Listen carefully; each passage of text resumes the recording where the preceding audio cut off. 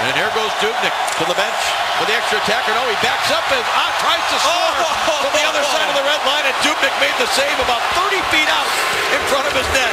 for an extra attacker. It's a turnover. He sees what happened.